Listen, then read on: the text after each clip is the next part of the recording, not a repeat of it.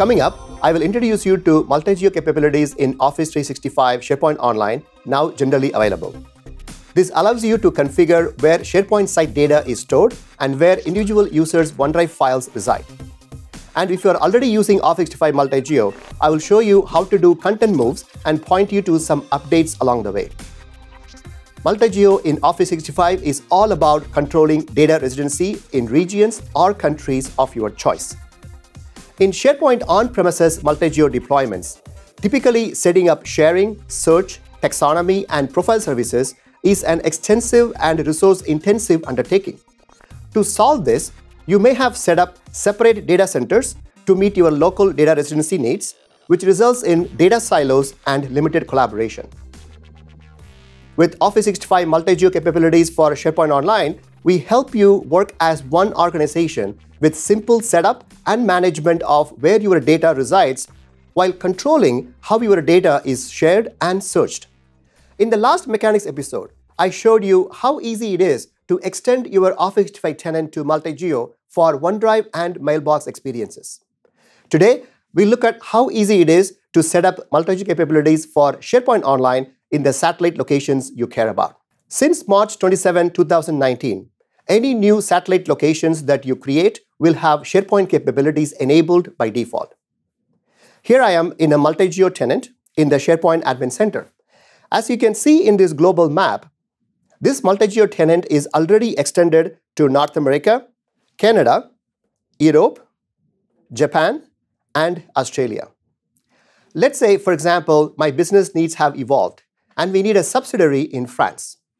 I can add a geolocation for France by simply clicking Add Location, select France. Next, in the domain field, I have chosen our company name followed by an abbreviation of the satellite location name, Contoso Energy FRA.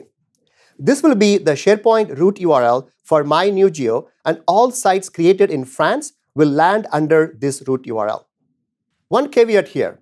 If you have satellite locations set up before March 27, 2019, you will need to use the SharePoint PowerShell commandlet set-spo multi-geo experience to enable SharePoint capabilities in those geolocations. Optionally, if you want to confirm the success of this setup, you can follow up by using the get-spo multi-geo experience commandlet. Now, let's dive into some of the typical SharePoint administration activities. First off, each geo has its own SharePoint administration center.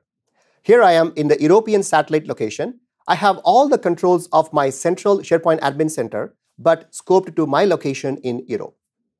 If I click on the sharing settings, I can also set policies for sites and users' OneDrives in Europe.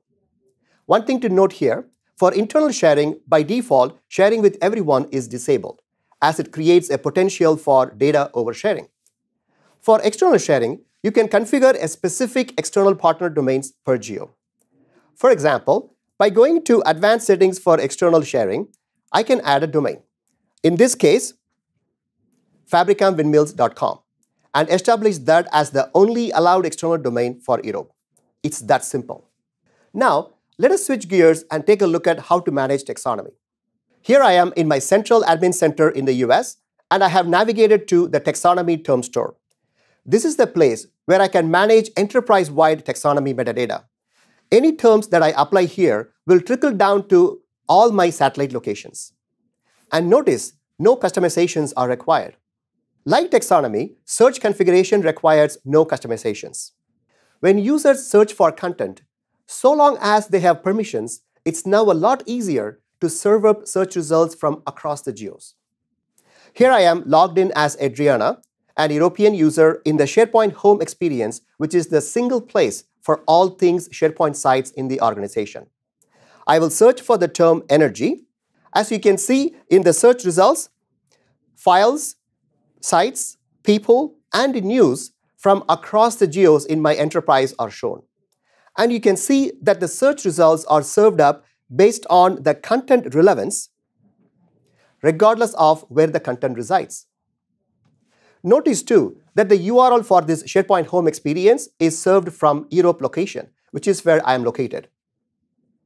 Your search indexes along with your content still reside where they need to at the geo level, but the content is more discoverable now. Now, let me switch gears showing what happens when you create a new site.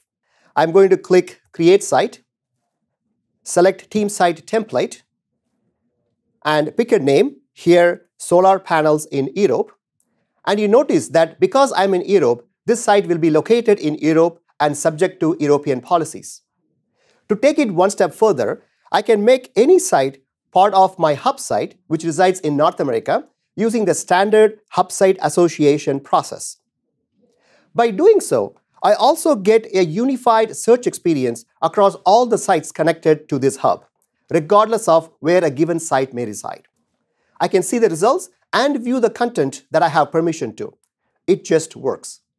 Lastly, let's look at the sharing experience. I'm going to share a document with Bob, who is an external partner from Fabrikam Windmills, which is one of the domains that we allowed earlier. I will click Send, and you can see it just went through without any issues. Now, let's try to share the same document with the user from an unauthorized domain. You will see I am stopped, which is a result of the sharing policy that was set for European content. One more thing I want to show you is what happens when a site moves to a different geo. For example, from Europe to the US. Bob received this email prior to a site move. If I hover over Carbon Glass, the site name, the link points to a site in Europe. But the site has already been moved to US. So let's see what happens when I click on the link. You will see that the link persists and if we look at the address bar, you will see that the link redirects to the site's new location in the US. As an admin, triggering a site move is pretty straightforward too. As a global admin, I can use the new SharePoint PowerShell module and the new commandlet start SPO site content move, specifying the source site URL and the destination data location parameters to trigger the site move. Optionally, if you want to schedule the move at a specific time, such as the weekend, then you can add the additional parameter preferred move begin date. It's that simple. Now, even if a sync line has been set up for this site content, it will automatically get relinked to the new location.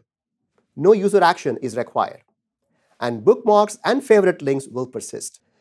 And a few more things I want to point out. First, all multi-geo activities are logged and audited for future review. Second, you can review and manage all security settings in the Security Center and compliance policies in the Compliance Center. Third, e-discovery management can be done on a per-geo basis.